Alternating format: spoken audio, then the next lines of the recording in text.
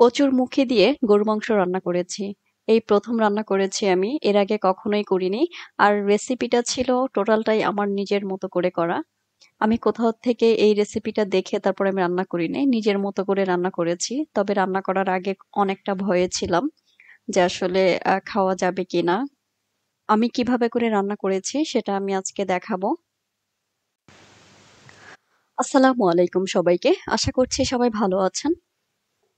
এখন আমি কচুর মুখিগুলোকে কেটে নিচ্ছি। আর কচুর মুখিগুলো বেশ বড় ছিল সাইজে। আর আমি কেটেছিও খুব বড় করে। এরপরে ধুয়ে নিয়েছি। আর মাংস নিয়ে নিয়েছি আমি। মাংসটা অল্প পরিমাণ যদিও বেশি না। তারপরে কচুর মুখিটাকে আমি হালকা করে সিদ্ধ করে নেব কচুর মুখিটাকে সিদ্ধ করার সময় আমি হালকা পরিমাণ হলুদ দিয়েছি। যেন দেখতে হলুদ দেখা যায়, সাদা যেন না দেখা যায় এই জন্য দিয়েছি। তো আমি হালকা করে ভাপ দিয়ে নিলাম। দেওয়ার পরে আমি এটাকে ঝরিয়ে নিব পানিটা। অত বেশি সিদ্ধ করিনি। কারণ সিদ্ধ করলে আবার গরুর মাংসর সাথে দিলে তখন এটা আবার গলে যেতে পারে এই জন্য এরপরে আমি রান্না করার জন্য মশলা নিয়েছি। এখানে জয়পল, জয়ত্রী ছিল। আর এলাচ বাটা, দারুচিনি বাটা ছিল। ধনিয়া বাটা, জিরা বাটা এখানে সব বাটা মশলা দিয়ে আমি তারপরে রান্না করছি। এরপরে আমি রান্না শুরু করে দিচ্ছি। পেঁয়াজটাকে ভেজে নিয়েছি। এরপরে সব মশলাটাকে দিয়ে দিলাম। বাটা মশলা যা ছিল, আদা রসুন বাটা দিচ্ছি। সব মশলা দেওয়ার পরে আমি মশলাটাকে ভালোভাবে নেড়ে নিব। নেড়ে নেওয়ার পরে হলুদ মরিচের গুঁড়া দিয়ে দিয়েছি। পরিমাণ মতো লবণ দিয়েছি। আসলে রান্নাটা আমি আমার নিজের মতো করে করছি। কোনো রেসিপি আমি দেখে তারপরে রান্না করছি না বা করিও নাই। এরপরে মশলাটা এই যে কষানো হয়ে গিয়েছে। আমি এমনভাবে মশলাটাকে কষাচ্ছি অনেকক্ষণ ধরে যেন মশলার তেলটা উপরে চলে আসে। তো মশলার তেলটা যদি উপরে চলে আসে তখনই হচ্ছে আমি মাংসটাকে দিয়ে দিব। এরপরে আমি মাংসটাকে দিয়ে দিলাম। মাংসটাকে দিয়ে কিছুক্ষণ নাড়াচাড়া করব। নাড়াচাড়া করার পরে আমি মাংসটাকে কষানোর জন্য আমি ঢেকে দিব। মাংসটাকে নাড়াচাড়া করে মশলার সাথে মিশিয়ে নিচ্ছি ভালোভাবে। আর রান্নাটা আমি খুব ভয়ে, ভয়ে করছি। আসলে জানি না রান্না করার শেষে কেমন হবে খেতে। যাই হোক আল্লাহ ভরসা মাংসটাকে আমি কষিয়ে নিলাম।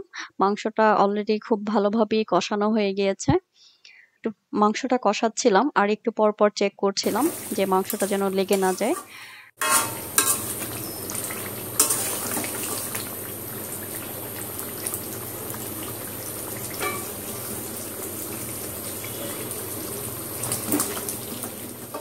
এরপরে কচুর মুখিটাকে যে সিদ্ধ করে রেখেছিলাম, সেই মুখিটাকে আমি দিয়ে দিয়েছি এখানে।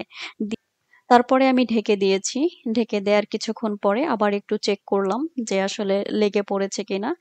তো খুব ভালোভাবে মাংস আর কচুর মুখিটাকে একসাথে কষিয়ে নিয়েছি।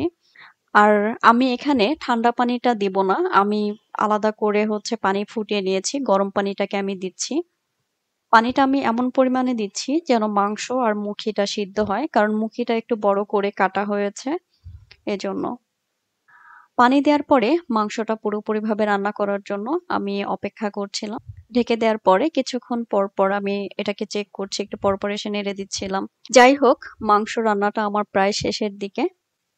তবে তরকারির কালার দেখে মনে হচ্ছে না যে খেতে এতটাই খারাপ হবে। মনে হচ্ছে যে খেতে অনেক মজা হবে।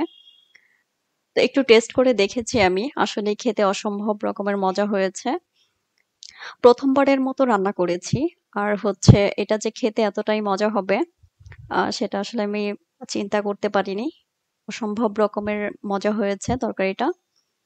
তো আপনারা যারা, যারা এভাবে রান্না করেছেন অবশ্যই জানাবেন যে কীরকম লাগে, এটার টেস্ট কেমন হয়, এটা খেতে কেমন লাগে।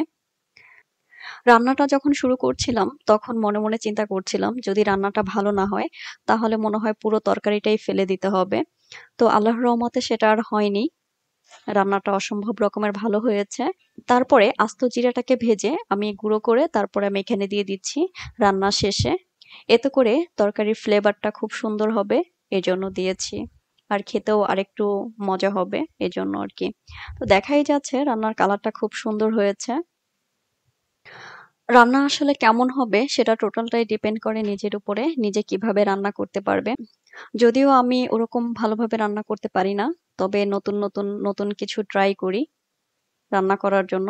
আর যেটা ট্রাই করি সেটা খুব ভালোভাবেই ট্রাই করি যেন একটু ভালো হয়।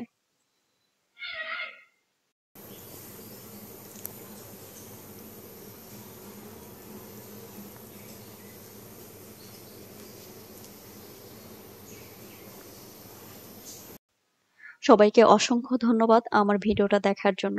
আল্লাহ হাফেজ।